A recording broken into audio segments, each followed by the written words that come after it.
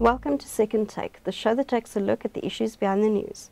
There has been some progress in unlocking the reform, allowing embedded generation plants below 100 megawatts to proceed. Terence Creamer joins me to discuss developments. Hi, Terence. NERSA has registered the first two 100 megawatt projects in the Northwest. Yes, this is a bit of a breakthrough. We know the reform's been knocking around for some time, and we know that there's been complaints about red tape and onerous conditions, particularly around the NERSA registration process, but also around getting grid connection uh, agreement from or, or, contracts from Eskom, which is required if you're going to wheel or use the network, and getting through your environmental impact assessment processes. So there's there's been some delay in getting some of these things through. So it was with great excitement, I think, that we saw the first two uh, 100 megawatt projects coming through, both in the Northwest Province, both being developed by SOLA Group, which is part of the um, which has got an equity shareholder, African Rainbow Energy. So uh, this group is now going to take these projects through to financial closure at the end of July, hopefully, and then they're talking about a 14-month uh, construction period, and they're going to be wheeling this power. The client is really Tronox um, uh, Mineral Sands, which is a big uh, titanium producer, New York Stock Exchange company, and they have plants in both KwaZulu-Natal and in, on the west coast of South Africa, and they produce a number of uh, titanium pr products. So it's a, a big development for uh, South Africa, and it shows that finally this reform is starting to have some impact. The regulator has also indicated that it will be easing some of the registration requirements.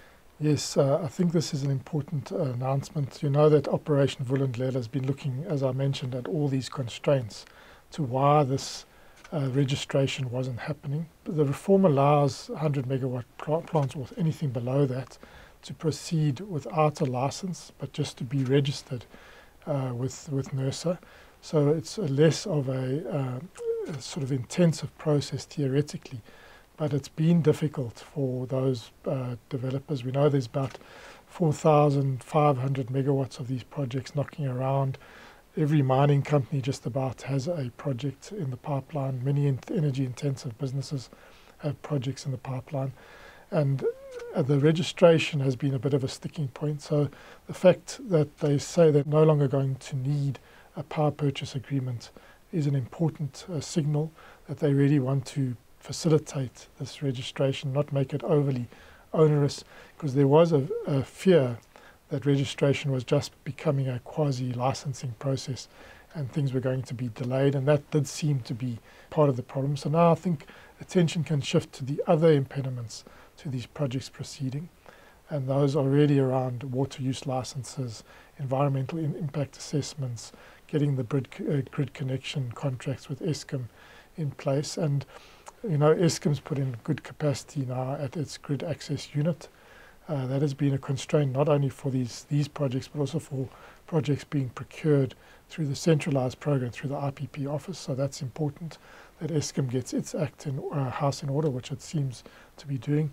And now the next step, I think, would be to declare these 100 megawatt projects SIP or strategic integrated pro programs or projects, which under that uh, pro process you can accelerate these issues around land, uh, land use, water use, environmental impact assessments. So I think we're going to see an announcement there soon. So it seems that all these sticking points are slowly being worked through the system. There has been an intensive process uh, sort of facilitated by Operation Vulindlela, which is the presidency and the treasury, to try and un unlock project-specific uh, impediments. And we saw SOLA Group mentioning that uh, the presidency had played a role in unlocking their two northwest uh, projects, and uh, then to look at these systemic issues that are still constraining the 100 megawatt reform from really moving ahead, which is really the quickest and cheapest way to get new capacity, which is much needed onto the system, uh, to sort of alleviate this uh, this uh, load shedding crisis. Eskom and some municipalities are also looking to take advantage of recent market reforms. Yes, so Eskom has also tied itself uh, to this 100 megawatt reform and that they're now making uh, land available next to Tutuka Majuba power station. So this is grid ready land, so land that has got access that you can actually uh, evacuate power into the grid because uh, a lot of these miners, for instance, like this, these first projects, the Tronox facilities are in KwaZulu-Natal and in, in, in.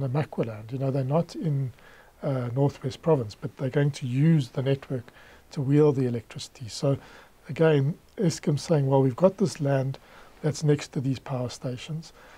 Come and look at it. We can lease it to you over more than 20 years, and you can uh, use this land uh, that is grid ready to start uh, building your projects. And there have been something like 21 bidders for that uh, opportunity, for that lease.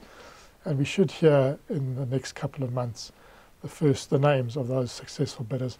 And it will be to facilitate again this unlocking of this 100, sub 100 megawatt reform.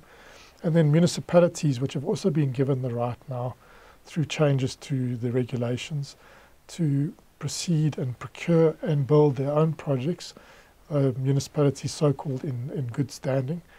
And we can see now, obviously, the, the big one uh, that most advanced seems to be Cape Town with their 300 megawatt uh, tender already in the market and has already closed. Ekurhuleni is doing quite a lot of work, um, and so is Tshwane.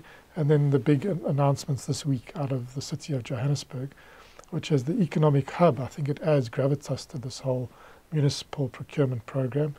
And they're going to take a few months to get their tender documents ready. They're going to go on a fact finding tour of uh, Cape Town to see how they've done it. And then we should see their request for proposals coming out. And they say they need to invest 26 billion rand in electricity uh, infrastructure and in generation capacity. And obviously they can't do it and they're wanting to contract with IPPs. So we can see slowly, slowly, things are starting to take shape around this 100 megawatt reform. And the presidency uh, is now saying that they think the floodgates are going to start opening. Thank you. That's the Second Take show for this week. Thank you for watching and join us again next time for more news analysis. Also, don't forget to listen to the audio version of our Engineering News Daily email newsletter.